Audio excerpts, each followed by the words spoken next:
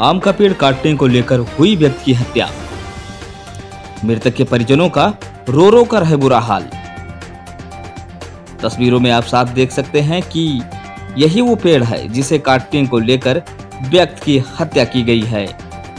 जहाँ आम का पेड़ काटने को लेकर व्यक्ति को अपनी जान से भी हाथ धोना पड़ा। आम का पेड़ काटने को लेकर हुए विवाद में एक युवक ने 45 वर्षीय व्यक्ति को कुल्हाड़ी से मारकर घायल कर दिया। घायल का जिला अस्पताल में उपचार के दौरान मौत हो गई। घटना छपिया थाना क्षेत्र के ग्राम मिर्जापुर का है, जहाँ गाँव के महेश तिवारी व राघवेंद्र तिवारी के बीच खेत में लगे आम का पेड़ काटने को लेकर विवाद हुआ था। मृतक के पुत्र विकास तिवारी ने थाने में तहरीर दी है कि राघवेंद्र तिवारी ने आम के एक छोटे पेड़ को काट दिया था। जिस पर उसके पिता महेश तिवारी मना करने गए तो उन्हें कुल्हाड़ी से मारकर घायल कर दिया।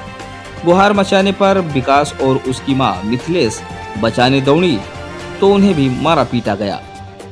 घटना की सूचना मिलने पर छापिया पुलिस घायल को सामुदायिक स्वास्थ्य केंद्र छपिया ले गई।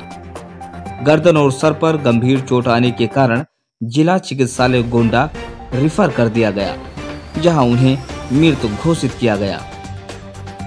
वैसे जनपद गोंडा अपराध के मामले में आजकल सुर्खियों में यहाँ आए दिन अपराध करना आम हो चुका है। लगता है कानून का भय यहाँ के लोग भूल चुके हैं। छोटे छोटे मामलों में लोग हत्या करने लगे हैं। इसलिए इंडिया टाइम्स समाचार एजेंसी शासन प्रशासन से अपील करता है कि ऐसे लोगों का फन कुचल देना चाहिए जो कानून को कठपुतली समझ बैठे हैं।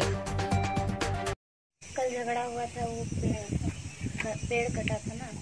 किससे झगड़ा हुआ था? चाचा से। तुम्हारा चाचा है वो? हाँ। अच्छा वो पेड़ को लेकर के हुआ? हम्म? पेड़ को लेकर के झगड़ा हुआ था? यस उसके बाद में क्या हुआ फिर? उसके बाद जो है पुलिस आई फिर उसके बाद वो आए थे समझौता करके चले गए थे। फिर जो है आज सुबह गए थे लेटरिन वहाँ से आ रहे थे तो वहाँ पर कुल्हाड़ी लेके मारे थे। कौन मार दिया? वही चाचा। किसको मार दिया? रावगंज तिवारी। राघवेंद्र तिवारी नाम है तुम्हारे चाचा का? उन्होंने मारा है? किसको मारा है? पापा को। आपके पिताजी हैं वो? यस अच्छा यहाँ पर ये यहाँ जब यहाँ से फिर अस्पताल भी लेके गए उनको? यस वो यहाँ ज़िंदा थे? नहीं यहाँ पर हल्की हल्की साँसें चल रही थी। यहाँ से कहाँ लेकर गए थे पहले? मारा उन्होंने कुल्हाड़ी से? यहाँ पे मारा था फिर गले पे? यहाँ पे मारा था फिर यहाँ पे मारा था। गले पर और सर पे? हाँ। यहाँ यहाँ ले गए थे छपिया छपिया से रिफर हो गए थे। फिर वहाँ ले गए जिला अस्पताल? जिला अस्पताल गोंडा में। वहाँ जाते जाते मृत्यु हो गई। गोंडा में मृत्यु हो गई? यस जी। तो है। क्या मामला था?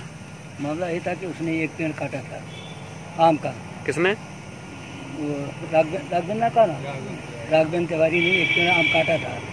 उस पर सौ नंबर पुलिस को बुलाया गया और वो भग गया।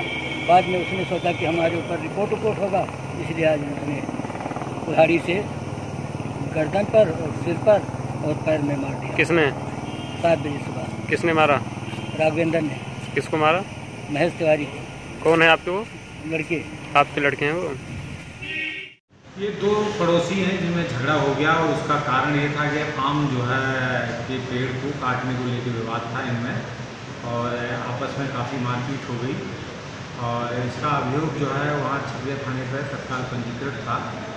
लेकिन ये उपचार के दौरान चूँकि उसे गंभीर चोट आई थी और उपचार के दौरान वो जो है जिला अस्पताल में उसकी मृत्यु हो गई। इसको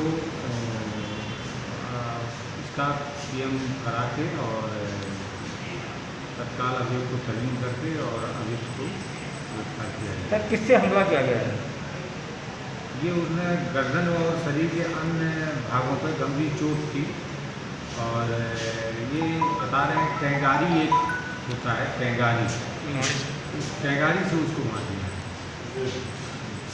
वहीं दूसरी तरफ़ एसएचओ संजय तोमर ने इंडिया टाइम्स को बताया कि मृतक के पुत्र की तहरीर पर मामला दर्ज कर लिया गया है।